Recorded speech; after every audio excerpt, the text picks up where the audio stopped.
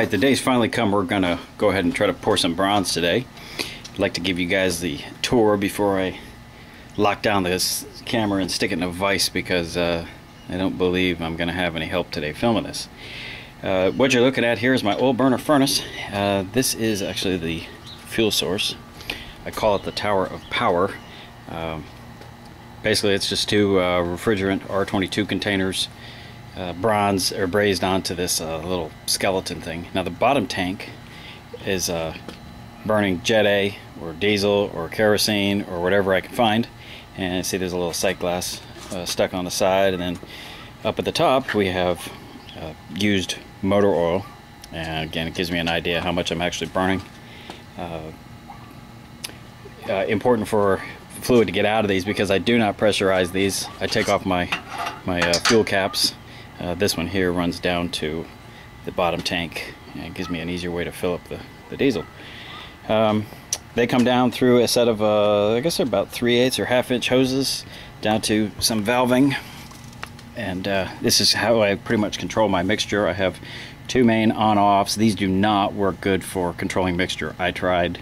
Uh, once I switched over to these super, super high quality uh, half inch valves, uh, life's gotten a lot better for me. Somebody gave me these. No way would I pay a hundred some bucks a valve for those guys. Uh, that uh, fuel depends on. I start on the diesel and then switch over to use motor oil once the, te uh, the temperature comes up on the therm the furnace here. The fuel comes through here into here, and inside of here is just a quickie. Uh, everybody's familiar with the quickie burner. Um, my compressed air comes into here. This gives me an idea about what I've got for PSI and uh, 15 I believe is about where I'm running. Now we're really really high tech here. We got the the ketchup container. And then for a blower at the moment I'm using a uh, hello Coco. Say hello to everybody. This is oh thank you Coco. Yeah. You know why a cat does that? Is because he can. Uh, this is a microwave blower motor that I scrounged up somewhere. Uh, it runs full tilt. I don't really have to adjust uh, air uh, what I've got set up works just good. And today, for the first time ever, I'm actually sitting on a little piece of uh, wood stand here. So once it's up and running, I can just send it there. Before I used to have this thing teeter-tottering on a box or what other garbage I could find. Let's look at the furnace. Lid opens up and you're taking your step around the front side of the furnace. And uh, down in here we have some scrap uh, bronze from one of my last last pours. It's sitting on a Cool Whip container size refractory uh, block that serves as my plinth, and it works out real good. It gives me the right the right size height from the uh, from the hole from the tuyere, and uh, that is a number six. So yeah, this is going to be a lot of a lot of filling and remelting. It's going to be a real pain. Um, Looking at the top of my furnace lid, I developed a crack last time right in here. This was a ring that I had welded onto the top of the tank and had filled up the center with the refractory cement and used uh, some plastic bottle to make the hole. Uh, so this is not a good idea. Um, I may be due for a, a new furnace setup uh, a lot sooner than I had originally planned on it, but that's okay. That's okay. Uh, the bottom hole is plugged underneath the furnace. God forbid I have a real heavy, heavy tray that lives underneath there. So if we develop a leak or something and it does make it through my plugged hole, right now it's just plugged with Kaowool, then uh, we'll go from there. Let's see, over here we have some uh, bronze uh, ready to go. Another piece of uh, another piece of scrap uh, from the jewelry box pour. Uh, always need a set of tongs for lifting stuff. I made these molds. Uh, there is actually a slight bit of draft. If you see if I can show it to you, there you go. You can see how the sides are kind of tipped out a little bit. This way it helps it get right out of there. Uh, big two inch uh, angle stuff. Uh, this is my tray that I use for setup. Uh, when the crucible comes out, it's going to get set on this plinth, which will be already ready to go and I'll have a piece of couple pieces of cardboard parked on here. So you'll see a lot of flames. That's completely normal. Um, then I'll lift up, lift this up, and uh, slide my little lock over, and that'll keep the crucible from coming out of the pouring tool here. The actual uh, shells are going to end up going over here. This is just a bucket with a bunch of Kaowool, and the other one is uh, some dollar store garbage with some sand and some Kaowool. So I think the first two pieces I'm planning on pouring is going to be the rose and probably the not a light switch cover. Let's do a mirror. We'll do a mirror and the rose first on the first one. I'm thinking about how much bronze this is going to take. Over here is the kiln. And the kiln is a piece of garbage that I only paid 25 bucks for. Uh, it doesn't even have a hinge. And any kind of uh, electronics or timers, all that other stuff, that's all gone. I went through the inside of this thing, if some of you remember, and rewired it. Uh, I start them both on low, go to medium for you know 20 minutes or so, then go to high, and uh, and that's it. And of course, it's on a real heavy-duty 220 cord running to the back. Uh, you end up with these. I just plug those holes with uh, some Kaowool. Now we're going to take a peek in here, and this is going to be screaming hot. She's been going for a while, so hopefully I won't melt melt my camera or my hand. Let's use a piece of Kaowool. And whoa, that is really hot. I'm to close that. oh, that's hot. All right, and that's it. Uh, safety equipment. Well, there's a garden hose around the corner. Uh, there's a fire extinguisher over here, which isn't to do very much. It's pretty small. And uh, so that's that's what we're looking at. My starting procedure is definitely a little unorthodox. Uh, that noise you hear right now, that's just the fan I've got going off on the side. I know this is going to look strange. It may work the first time, it may take me 10 times to do it. Uh, I'm a little out of practice. It works. It's what I have to do. Don't judge. Lid open, always.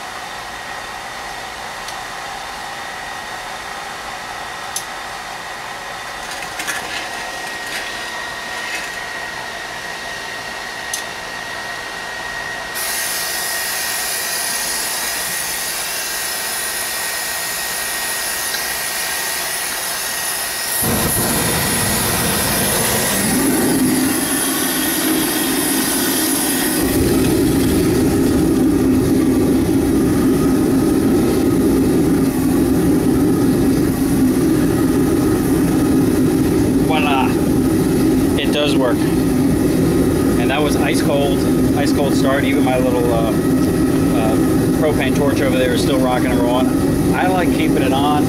You get a flame out, it's easy. You can jerk that burner, shove it back into flame, get it going. That's probably the safest thing you can do. If you get a flame out and it's sitting there dumping in raw fuel into an unlit chamber that's hot, I don't really want to send that lid uh, into low Earth orbit or have that handle swing back down and take out my skull.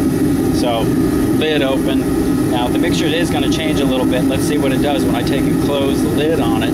Um, if anything, I can't remember where I had it set last time, but if any, anything, it should probably turn it a little more rich inside of there. We'll see what we get for flames. And you'll watch as I take and tune this thing with either adding more Jet A or, or removing Jet A from it. Uh, you'll see the flames either come up or come out of the uh, the furnace. So we'll, let's see what we can do now about back a little.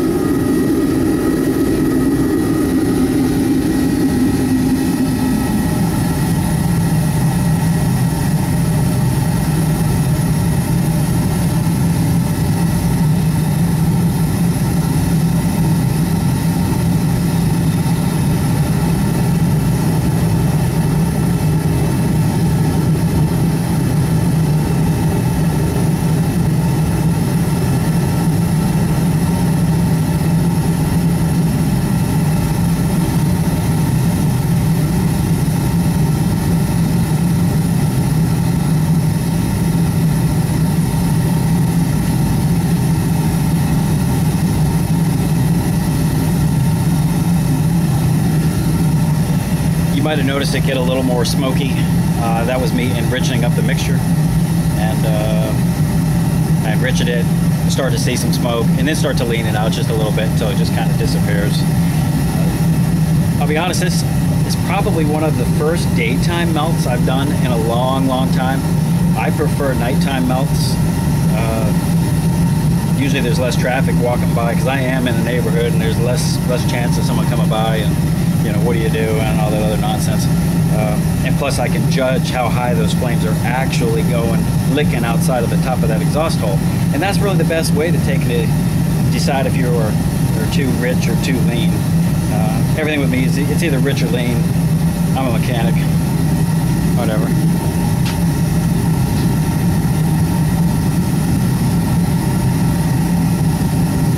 I would say right now that's about exactly where it needs to be. That's going to change. Mixtures can change as the furnace body inside uh, gets hotter. Uh, I do believe it changes a little bit.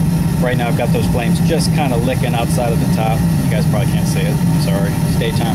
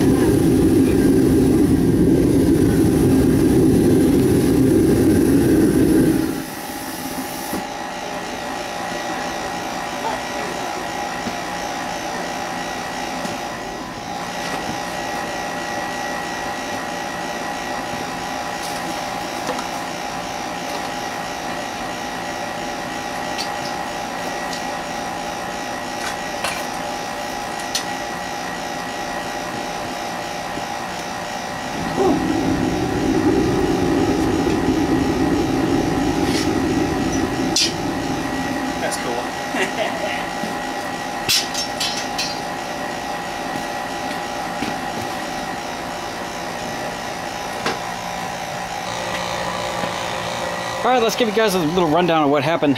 Uh,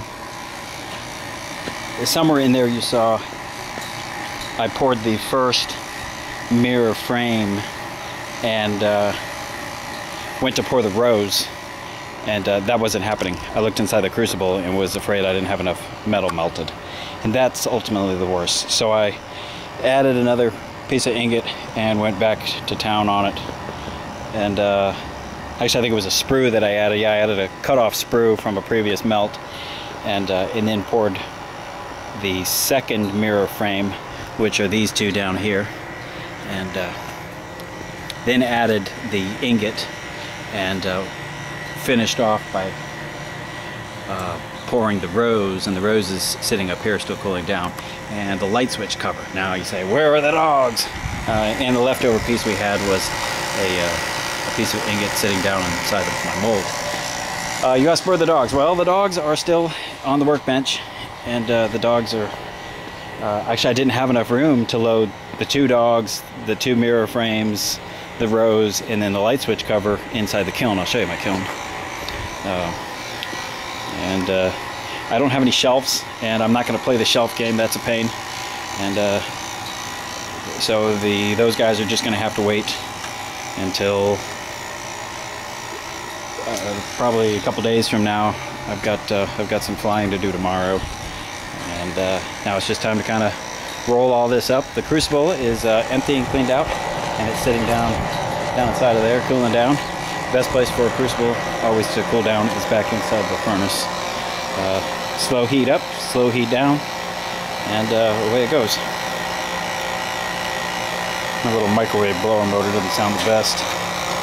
But uh, we're just gonna let it keep on, keep on chooching. I've got another one somewhere. I guess what I didn't realize was sitting here in the garage, I had a, uh, know, looking a little dark. I had another, another ingot and some more scrap. I should have, should have tossed in there, but sorry that one didn't happen. And there's the two dogs sitting there. Still waiting to go back into the into the furnace, but that's where they'll go, and uh, and we'll get moving. Uh, we're going to go ahead and let these guys cool down just a little longer while I wrap up some of this stuff. And we're going to get to uh, break these out here shortly.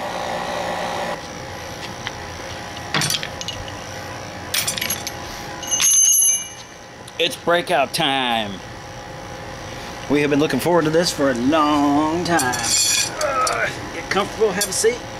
Let's see. I think we can start with that one tongs. Rose. we're gonna do a mirror first. See, I can't tell what you guys can see or not. There we go. That looks alright. The moment of truth. Hours and hours and hours. And it all comes down to this. Right here.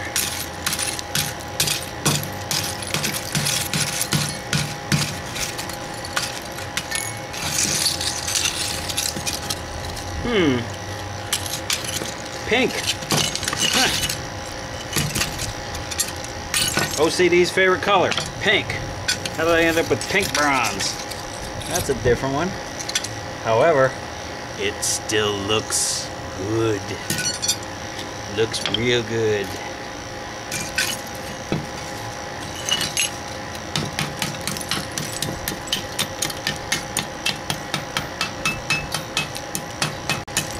pink. Hmm.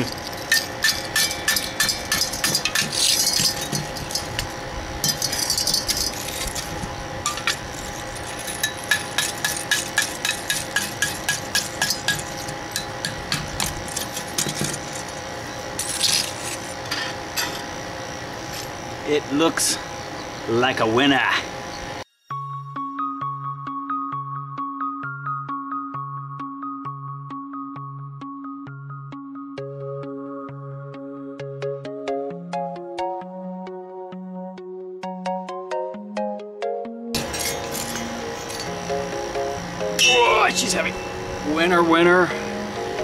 fucking.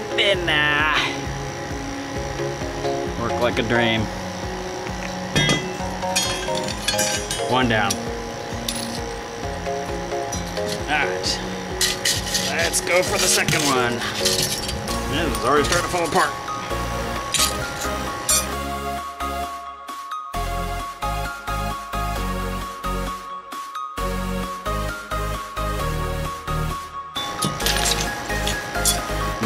I didn't make them. I can, but when you find them and they're 20 bucks, you pay the 20 bucks.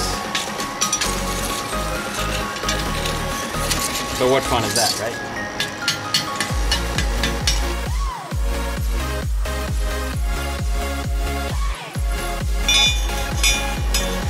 It's best to use something kind of blunt. This guy here is blunt. Uh, keep you from dinging up your pace. Once I get the majority of this off, it goes in the sandblast cabin anyways, and the rest of it just flies off with glass beads. So, all right. Number two, good to go. To the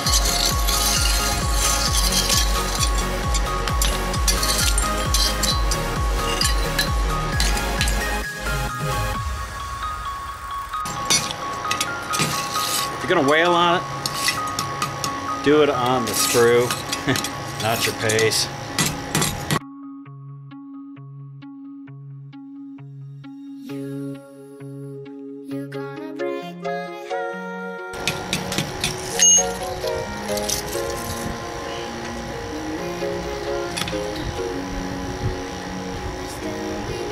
Nice, nice, nice, nice. So I don't go dork this up. I'm gonna hold off on breaking out this last little part here. I wanna put this on something padded, like a something hard rubber, uh, so I don't go and screw up the, the tips of the, all right, what do they call it? They actually have a name. Anyways, that little piece of the flowers. We're gonna wait. Ah. Guesses?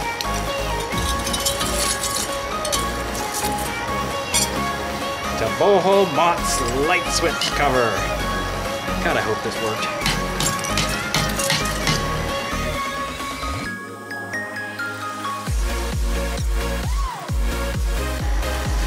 Here's a light switch cover. I'm sure you're not going to find it. The homeless desk, homeless despot. just drop it.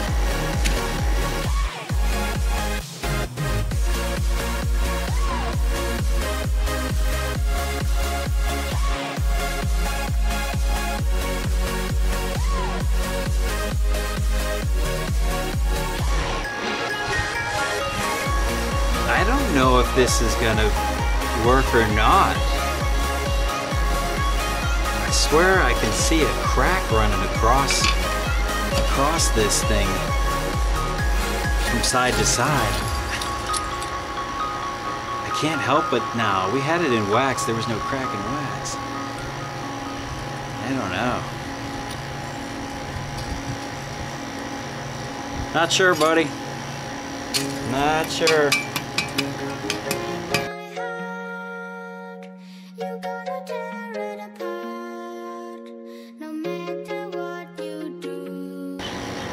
Gonna have a crack right here at that sprue.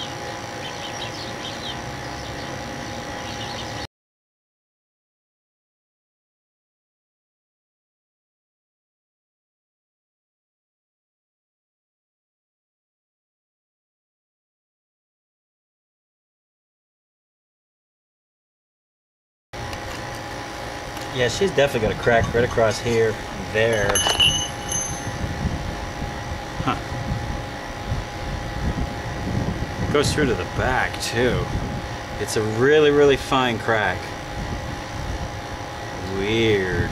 Weird, weird, weird. But the thin part, it filled. It, it did what somebody I know couldn't do.